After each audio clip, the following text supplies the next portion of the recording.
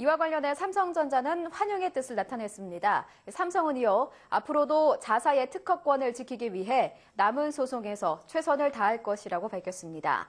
삼성전자 관계자는 이번 ITC의 최종 판결은 애플의 특허 무단 사용에 대한 그간의 역사를 인정한 것이며 삼성은 수십 년간 진행해온 무선 기술 역량을 바탕으로 혁신적인 제품을 계속 소비자에게 제공할 계획이라고 말했습니다.